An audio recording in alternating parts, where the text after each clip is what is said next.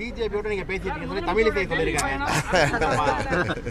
இந்த அம்மா வந்து அதாவது நான் சொல்ல தென்னை மரத்துல தேள் கொட்டுனா பனை மரத்துல ஏன் நெறி கட்டுறதுன்னு தங்கமணிக்கு கட்டினா கூட ஒரு ஏதோ ஒரு ரீசன் இருக்கு.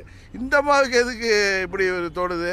அதாவது பிஜேபியை எங்க அதாவது பல நாட்களுக்கு முன்பு தினகரனின் கட்சியை சேர்ந்த நிர்வாகிகள் அப்படிங்கிறாங்க. கரெக்டா எந்த நிர்வாகி வந்தார்? சொல்லுங்க அப்படின்னு இருந்தா எதுக்கு நாங்கள் போய் சூசைட் பண்ணிக்கிற கிணத்துல உழுவுறதுக்கு போக மாட்டாங்க பிஜேபி நோட்டாவோட போட்டு போட்டி போட்டுட்டு இருக்க கட்சியோட தமிழ்நாட்டில். அவங்க வேணா டெல்லியில் ஆளுங்கட்சியாக இருக்கலாம் பெரிய கட்சியாக இருக்கலாம். இங்கே வந்து நோட்டாவோட போட்டி போடுற கட்சி.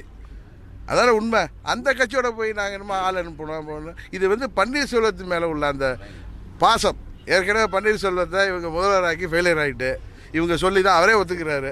சரி பன்னீர்செல்வம் நாகரிகம் இல்லைங்கிறார. பிரைம் மினிஸ்டர் தனியாக பார்த்தப்ப நான் அதில் போய் சேரட்டுமான்னு கேட்டப்ப சேருன்னு சொன்னதை இவர் வெளில வந்து சொல்லாமா? ஒரு ரகசியமான சந்திப்பு தானே அது? கரெக்டா ரகசியமாக தானே பேசியிருப்பார் போய் பிரைம் மினிஸ்டர் பார்த்து. அதை சொல்கிற பன்னீர்செல்வம் பேசுகிறதெல்லாம் நாகரிகம்.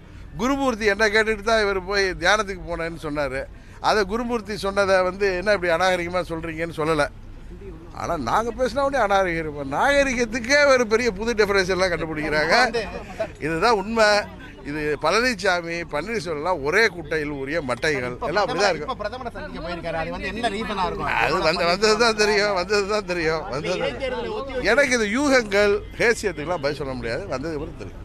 அது தானாக வெளில வந்துடும் இப்போ எப்படி இடைத்தேர்தலுக்கு முன்னாடி அங்கே போய் உதயகுமார் நம்ம செல்லூர் ராஜு ராஜன் செல்லப்பா பத்தாவதுக்கு நம்ம பெரிய குங்கு தளபதிகள் வேலுமணி தங்கமணி எல்லாம் ஆர்கே நகரில் புறமுதுகிட்டு ஒன்ற செட்டில் அங்கே போய் பன்னீர்செல்வம் தலைமையில் மீட்டிங் போட்டு நாங்கள் தான். இன்னமும் தேர்தல் முடிவு வந்த மாதிரி தாண்டி குதிச்சாங்க. எனக்கு அப்பயே தெரியாது டவுட் இருந்துச்சு. நம்ம ஆளுங்க ஏதோ அண்டர் கிரவுண்ட் வேலை பண்ணுறாங்க கரெக்டாக சிஎஸ் விட்டு லெட்டர் எழுதிட்டு அங்கே போய் கூட்டம் நடத்துகிறாங்க தேர்தல் நடத்தக்கூடாதுன்னு. இது இதுதான் அவங்களோட இரட்டை நிலை.